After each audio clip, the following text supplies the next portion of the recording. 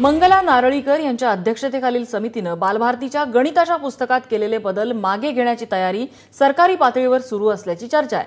मात्र आपल्याला अंधारात ठेवून गणिताच्या पुस्तकांमध्ये बदल केले गेले तर गणित विषयाच्या समितीच्या अध्यक्षपदी राहण्याची इच्छा नाही असं मंगला नारळीकर यांनी म्हटलंय.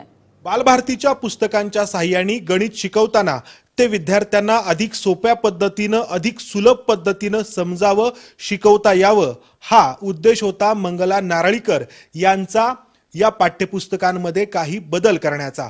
परंतु त्याला समाज माध्यमांमधून अतिशय उथळ शेरेबाजीचं विनोदाचं रूप देण्यात आलं. त्यामुळे तर त्या व्यथित झाल्याच पण आता याचं जे राजकारण होतंय आणि त्यांना अंधारात ठेवून या पाठ्यपुस्तकांमधली काही पानं बदलली जात आहेत असं कळाल्यानंतर जर पानं बदलली जात असतील तर आपण त्या पदावरती राहू इच्छित नाही असं मंगला नारळीकर म्हणतायत आपल्यासोबत आहेत. खरं तर अशी काही पानं बदलली गेली आहेत किंवा जात आहेत किंवा तसा काही विचार आहे याची काही माहिती तुमच्यापर्यंत आली आहे का? नाही नाही. ऑफिशियली माझ्याकडे त्याची काहीही माहिती नाही. पण मध्यंतरी दुसऱ्या एका म, माध्यमातून? ॲक्च्युली वर्तमानपत्रातून त्यांच्या वार्ताहरांनी मला विचारलं की आम्हाला आतून असं कळलं आहे की तुम्हाला अंधारात ठेवून पहिली आणि दुसरी दोन्ही पुस्तकातली संख्या वाचन विषयक पानं बदलली जाणार आहेत. तशी जा तसं जर झालं तर तुम्ही काय कराल? तर मी म्हटलं तसं जर झालं तर माझं काम तिथे जर पसंत नसेल वरिष्ठांना तर मी ते पद सोडणं हाच शहाणपणा आहे. तर मी ते पद सोडून देणार. नाही हे खूप दुर्दैवी आहे. कारण ज्या उद्देशाने तुम्ही त्यामध्ये बदल केले होते तर त्यामध्ये काही भाषेतून श्लेष शोधण्याचा किंवा काही भाषा बदलण्याचा तुमचा उद्देश नव्हता.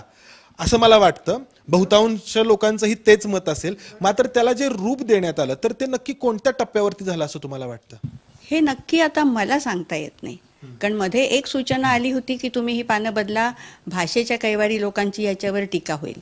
तर मी समजावून सांगितलं की आम्ही भाषा कुठली वगळलेली नाही आहे आम्ही दोन्ही वाचनं देतो आहोत. आणि विद्यार्थ्यांना थोडासा चॉईस देतोय. तुम्ही दोन्ही बघा शिका. तुम्हाला सोपं वाटेल ते घ्या. त्यामुळे आम्ही कुठलंच वाचन गाळत नाही आहोत.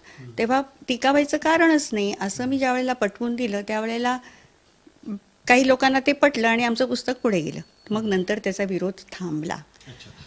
तुम्ही असेल किंवा डॉक्टर नारळीकर सर असतील आंतरराष्ट्रीय खातीवर चे शास्त्रज्ञ आहेत. आणि त्याचवेळी मराठीमध्ये देखील तेवढ्याच तोडीचं तेवढ्याच छान पद्धतीचं साहित्य त्यांनी लिहिलेलं आहे. त्यांचं आत्मचरित्र असेल कथा असतील तुमचं देखील तसंच आहे. तर एका बाजूला गणित आणि दुसऱ्या बाजूला मराठी. या दोन्हींवरती आपण म्हणू की पकड असलेले तुम्ही आहात. मात्र हे जेव्हा होतं असं तर साहजिकच वेदना होत असतील की तुम्ही भाषेला काहीतरी ठेस पोचवताय किंवा त्याला काहीतरी नुकसान पोचवताय असा जो समज केला गेला. एखाद्या माणसावर खोटे आरोप झाले की त्याला काय दुःख होतं?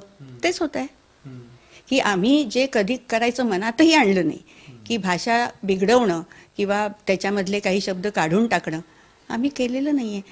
तुम्हाला निष्कारण ज्या वेळेला खोटे आरोप केले जातात तेव्हा प्रत्येक माणसाला अशाच वेदना होत असतील. मराठीच्या प्रेमापोटीच तुम्ही हे स्वीकारलं असेल म्हणजे असं काही नाहीये की तुम्हाला बाहेर कुठं काही काम मिळालं नसतं किंवा बाहेर कुठली जबाबदारी मिळाली नसती किंवा एखाद्या इंग्रजी संस्थेची किंवा आण- आणखी कुठली काही जबाबदारी तुम्हाला मिळाली नसती. असं अजिबातच नाही. अहो मराठीबद्दल प्रेम वाटतं म्हणून तर मराठीतनं गणित शिकणाऱ्या मुलांना ते नीट समजावं. यासाठीच तर सगळी धडपड आहे. आता मराठीवर प्रेम नसतं तर मराठीमधनं पुस्तकं एवढ्या काटेकोरपणाने एवढ्या एवढ्या विचार करून एवढा त्याच्यामध्ये श्रम घेऊन लिहिली असती का? नाही.